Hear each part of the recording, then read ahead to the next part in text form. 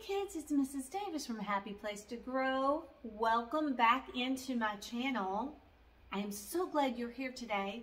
I've got something special planned for us.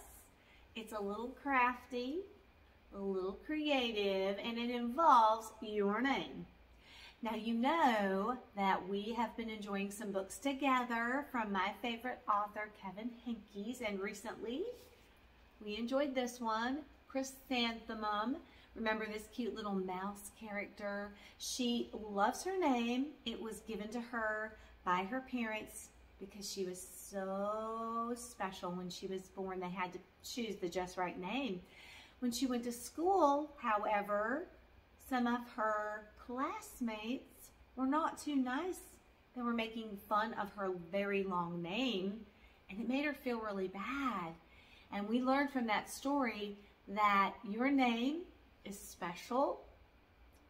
It belongs to you. It probably has been given to you for some special reason. And we decided we were going to research and ask our family members why we were named, the name, how did we get our name. We also learned that our name has a special meaning and we should take that journey to find out what does our name actually mean. Remember, my name's Stephanie, meant crown or a garland that goes around your head. So your name is you. It's special in honor of names, in honor of our name. We're going to do a special art project together that involves our name. Now you're going to need a few items. So I'll be here when you gather all of these things. And we'll be ready to go. Number one, you're going to need some tissue, not the kind that you blow your nose with. Some gift tissue. So I know this is probably something that your family members have around the house. So ask mom or grandma or dad to gather you some gift tissue. I have a few colors here. I always keep you know, when people get presents, I'll say, oh, do you want your tissue? I'll take it because I know I always love to do this art project with my students at the beginning of the year in honor of my new students that I have and their names, and we love to create. So, gift tissue, white glue, this Elmer's white glue is appropriate for this project, but if you only have stick glue, that will work too, but this is best and then something to put your glue in.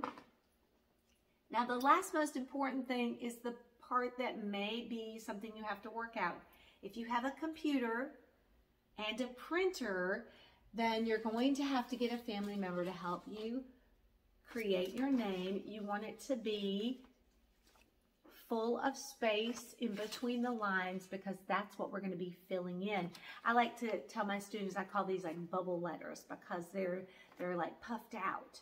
So if you don't have a printer at your house or a computer, a way to print your name, don't fret. You can still do this project.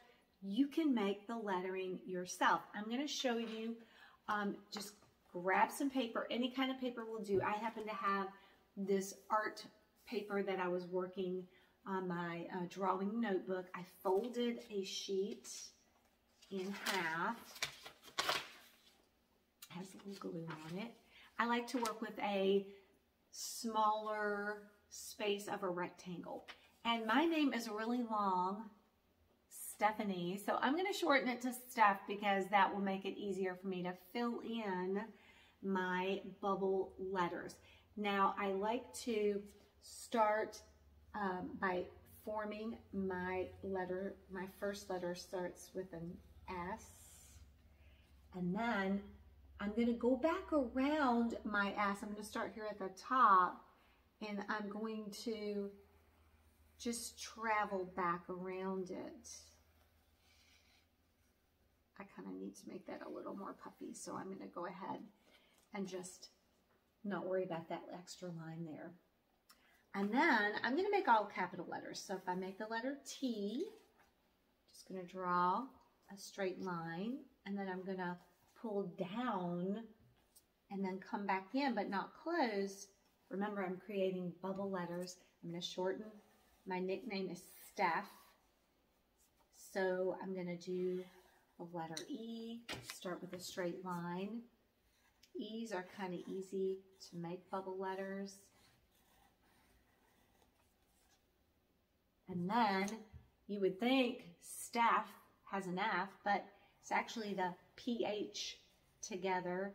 P and H together make the sound.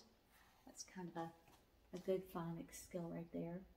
Okay, and then I know that says step, but remember PH together make the F sound. And there we go. It's not perfect, but I can fill it in and it is my name. So again, if you don't have a printer, a way to print off, you can make your own. If this didn't work out for me, I've got lots of paper. I could keep working. All right, now I'm gonna wait right here. Go gather those items. Remember tissue, gift tissue, white glue, something to put your glue in, and then, of course, most, most important, you need your name bubble. All right, I'll be right here when you get back. All right, kids, hopefully you were able to gather all of your materials.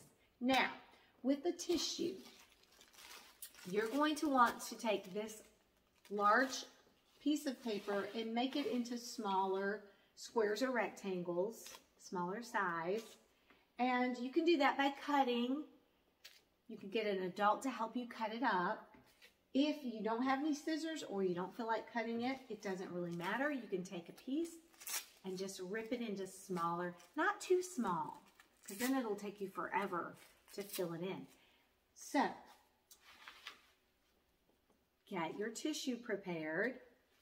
I always like to go ahead and put my white glue in a container. You can put it on a, a, a flat paper plate or even a paper scrap. It's fine.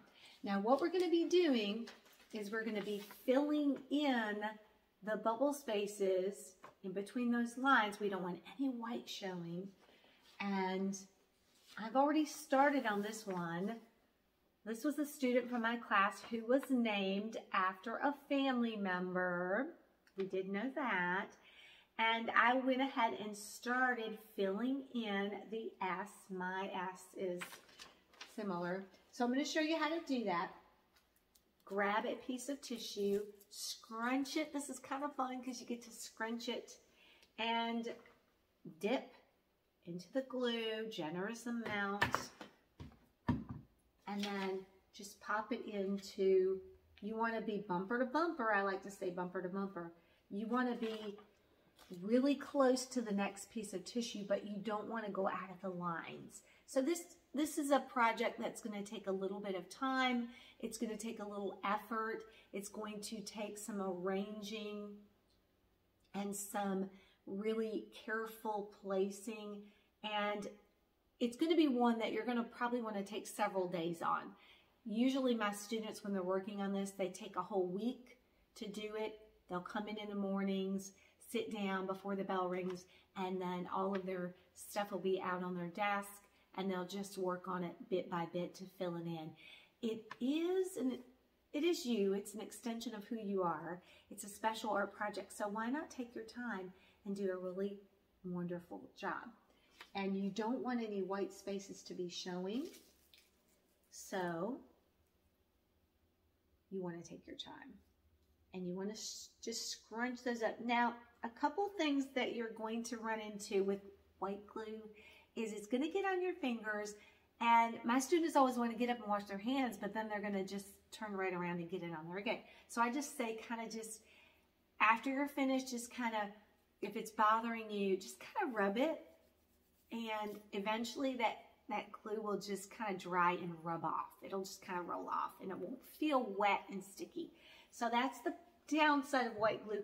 Mm, some of my students got creative and they got problem solving uh, in their, um, they just problem solved and they would actually put the glue on the paper. You don't need a whole lot. You don't want a glue swimming on here and dripping.